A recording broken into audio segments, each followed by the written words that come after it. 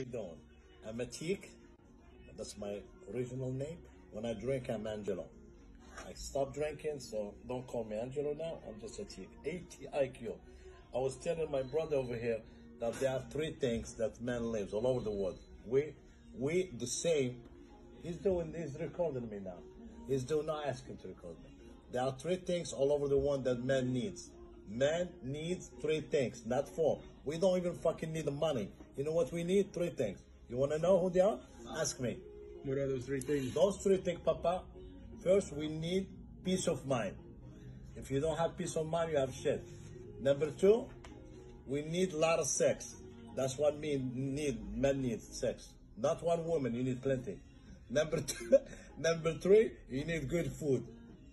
If you don't have those three, you will fucking die. Believe me, it's gonna start with heart attacks, and it's gonna start. You gotta go see doctor after doctor just to look at your heart. It's the nature. God sent the man to this earth to produce.